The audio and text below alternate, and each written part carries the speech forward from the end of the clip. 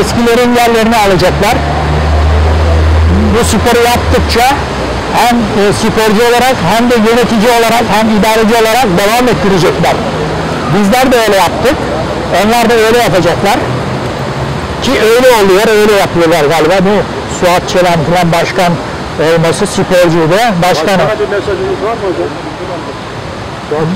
Ha, bir mesajım eee, e, yani sporculuk, yap- sporculuk yaparken tanıdığım Suat ondan sonra çok sevdiğim bir e, şeydi Suat'lı Bolu'nun sporcusuydu. Ondan sonra Bolu sporcularını çok seviyorum. Çok disiplinli çalışırlardı. Tabi imkanları güzeldi salonları vardı kamp eğitim yerleri vardı kalmak için. Ondan sonra yemek yemek için yemekhaneleri vardı.